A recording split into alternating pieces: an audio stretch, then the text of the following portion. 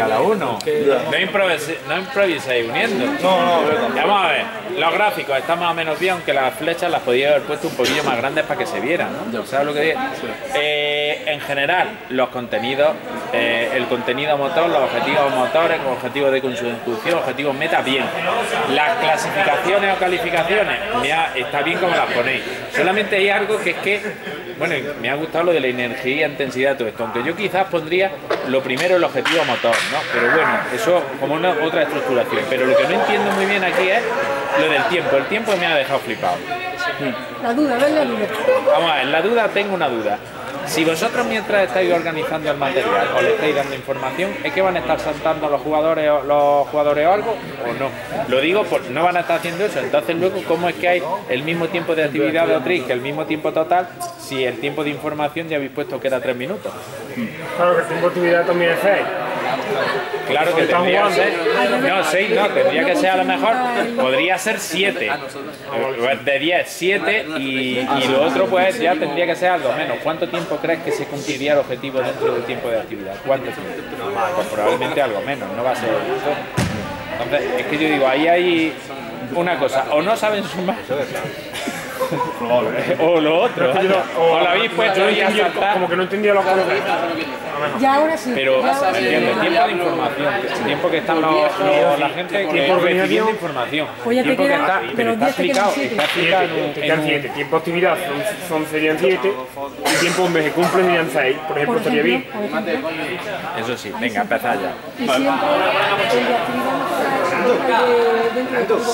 Porque el de no va a cumplir siempre, si lo cumplen siempre, vaya. Venga, vamos, los grupos, si no ponlo eso, como ya de flotadista que... No, por favor, venid, bajad bajad abajo todo. Bajad los que vayáis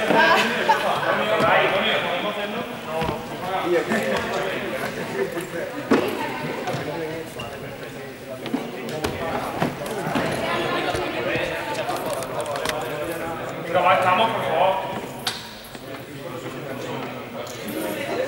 Ya cuando...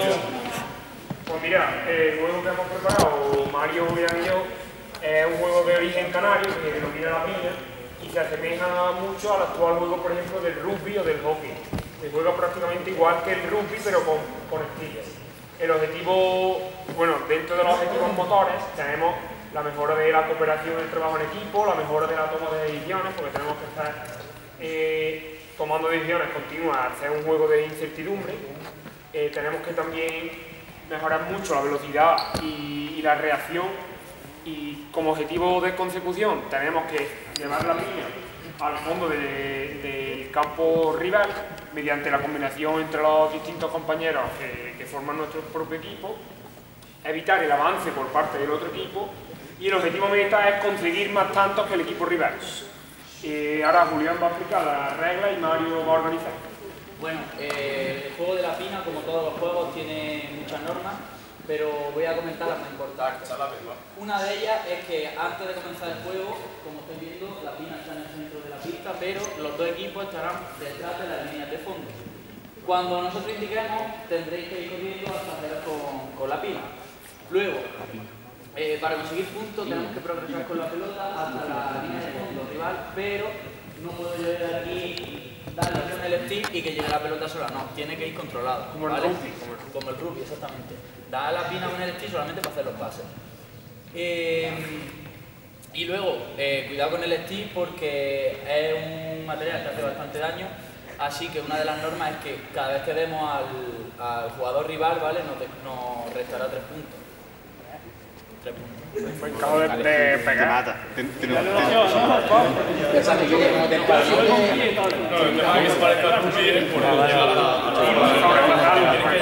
Chicos, ah, escuchad bien, que luego me enteráis. Eh, lo único que se parece al rugby básicamente es lo de llegar a la línea de fondo, ¿vale? Hay que llegar con la pina, que es el, el- la- el móvil del juego, eh, a, vaya, conduciendo el balón, como algunos de los juegos que hemos hecho en fútbol, ¿vale? Y vaya, yo voy a explicar la organización que básicamente es que nos vamos a dividir en divisiones, estos son tres pistas, ¿vale? Las pistas están delimitadas por los cuatro conos que hay en cada campo y eh, como somos 25 vamos a hacer 6 equipos de 4, ¿vale? En, un equipo igual hay uno más. Y básicamente lo que consiste es que eh, en las tres divisiones, cuando pitemos el final, el que haya ganado se va a una división más, ¿vale? Vamos a empezar con que aquella es la primera división, la de medio la segunda y esta la tercera división, ¿vale? Y en, segun- en función de que ganéis o perdáis, pues cambiáis de... de va por tiempo, Va por tiempo, dos minutos. Dos minutos al partido. Exacto. ¿Lo habéis entendido? ¿Sí? Vale, pues hago equipos ya. Eh, mira, vosotros cuatro que estáis aquí y luego allí al final. Mario, Mario, Mario, Mario, Mario, Mario,